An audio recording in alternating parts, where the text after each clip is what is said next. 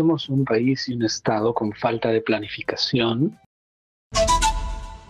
Le damos la bienvenida a Omar Neira. Él es experto en gestión pública y en temas de salud. Bienvenido, doctor Neira, a Exitosa. Karina, buenas tardes. Eh, muchas gracias por la invitación. Eh, permíteme expresar eh, mi solidaridad con todas las, las familias damnificadas en el país, porque realmente vivimos momentos difíciles, pero como tú expresabas bien, y esto y es parte de, esta, de, la parte de tu programa, el éxito para salir de todo esto es la educación en el concepto más amplio de lo que significa, porque finalmente si lográramos como sociedad comprender que podemos vivir mejor no en zonas vulnerables, podemos entender que para cambiar la sociedad hay que apostar a la educación, tal vez no tendríamos estas noticias a pesar del fenómeno climatológico que se da en todo el mundo. Muy bien. Eh, yo he leído la reacción de muchos expertos, entre ellos la de usted, y a nadie le ha parecido correcta esta, por más prevención, por más eh, de lo que quieran decir algunos opinólogos, eh, esta suspensión de clases de 24 horas generalizada. Para eso existe la focalización y esto nos lo hizo eh, ver claramente el gobierno de Vizcarra cuando nos encerró a todos y fue una mala idea y peor cuando se trató de los niños. Por algo sirve la para algo sirve la focalización. Esto es lo que se hace en otros países eh, cuando hay eventos como lluvias, nevadas, este, eh, eventos naturales? Evidentemente, eh, Karina, somos un país y un Estado con falta de planificación y no se usa la información disponible en cualquier sector para tomar decisiones eh, en políticas diversas. En este caso, eh, permíteme discrepar contigo, no es que se suspendieron ayer las clases, las clases no han iniciado en Lima, no han iniciado. Las de los colegios privados se suspendieron, pero las que más nos importan, las que por las que peleamos y por las que debemos seguir insistiendo, son las de los colegios públicos y esas no han iniciado. Y entonces, como tú dices muy bien, es necesario, fue necesario, a pesar de lo que estamos viendo, cerrar las clases toda la semana, fue necesario para los colegios privados cerrar el día de ayer, porque hoy sigue el problema y hoy bajo el concepto de la presidenta no debería haber clases tampoco particulares. Es una muestra más que las decisiones son alocadas, no son basadas en ningún dato, ninguna evidencia y solo se toman a la alocada y Martín Vizcarra normalizó esas decisiones e hizo gran daño a este país. Y entonces, ¿por qué es que no se puede tomar decisiones nacionales o completamente una región o una provincia como Lima? Porque el problema no es en, todo en toda la ciudad, en todas las regiones, en todo el país.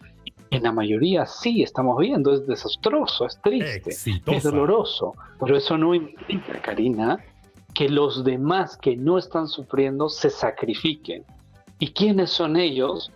los que menos tienen, los niños, los que no tienen voz, cuando no se tiene un concepto completo de lo que es que no solo es dar conocimientos, lo hemos repetido miles de veces. Y entonces hay una parte de la sociedad que nos dice que somos irresponsables por pedir que haya clases. Yo insistiré, vamos a ayudar, vamos a salir de esto, los problemas climáticos están ahí, pero no todos pueden sacrificarse con algo que es tan importante. En otros países, cuando hay políticas serias, se planifica se cierra permanentemente si es que se considera cuando hay un tifón, cuando hay un huracán. Pero eso no quiere decir el propio Florida, cuando hay esos huracanes inmensos, va cerrando por condados. No cierra todo Florida a pesar del riesgo y siempre priorizan la educación a pesar de los eventos climatológicos. Estos los hemos tenido, Karina, y los tendremos. Entonces la pregunta es, si Yaku dura 30 días, ¿se cierra la educación 30 días en el país? Y ese es el cuestionamiento de algunos en pos de una educación adecuada, sobre todo después de tres años de pérdidas irrecuperables, ¿no? De repente, si no perdíamos los tres años, pues en fin, podemos soportar, es decir, perdamos un día. Yo creo el asunto de fondo, Karina, es seguimos sacrificando la educación per se, ¿por qué? O sea, los chicos de San Miguel, Jesús María, ¿hay huaicos? ¿Hay, ¿Hay problemas en esas zonas? Creo que no. Las grandes unidades, Guadalupe, Santa Rosa, Fánica, Meditón Carvajal, eh, Alarco, todas esas podrían estar funcionando toda esta semana, creo que yo sin problemas mayores. Así es. Además, usted ha dicho algo eh, bien claro, se han retrasado las clases una semana en los colegios nacionales. ¿Por qué? Nadie sabe. Y se ha cortado las clases de los particulares, los privados, universidades, 24 horas por la falta de planificación. Hay un poco de eh, distorsión en su voz porque usted en este momento está en Alemania. Tenemos unas imágenes que nos ha mandado, están a cero grados, hay días que nieva mucho, hay mucha nieve y los chicos en Alemania hay tormentas de nieve y los chicos siguen yendo al colegio, ¿no? Efectivamente, Karina, tú ves a las 7 de la mañana a cero grados chicos de 5 o 6 años con su mochila, muy bien abrigados, caminando en las calles, yendo a los colegios. Y eso es cotidiano en muchos países.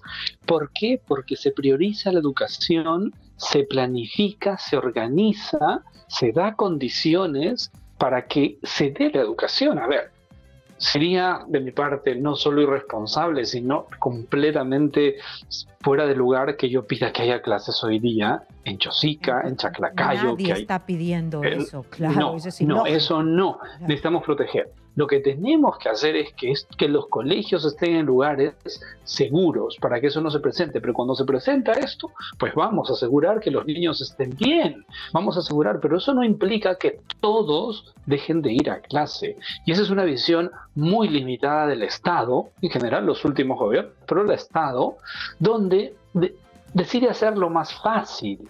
O sea, decide, ok, ¿por qué no cerrar? ¿Y por qué no ofrecer todas las garantías, hacer que el ejército, por ejemplo, le, eh, cree condiciones para que la educación sea lo último que cierre en una sociedad ante eventos de este tipo? No es poner en riesgo. Ese fue el cuento que nos, que nos dieron durante los tres años en pandemia, que los chicos se enferman, que los chicos mueren, cuando los datos eran ciertos, que eso no pasaba. El año pasado se demostró con la realidad que aquellos que exigíamos abrir colegios, cuando se dieron, no generaron mayores riesgos de salud. Muchas veces hay una narrativa que no está basada en una evidencia sólida y, se toma pues porque los políticos les encanta, les encanta manipular a la sociedad y, y, la sociedad también no reclama sus derechos y es parte de lo que tenemos que aprender y de esto hay que salir, pero pedir se planifique. Si no reclamamos que se planifique, nos va a pasar la reconstrucción del norte, millones y millones de soles votados y seguiremos igual porque ya se repetirá.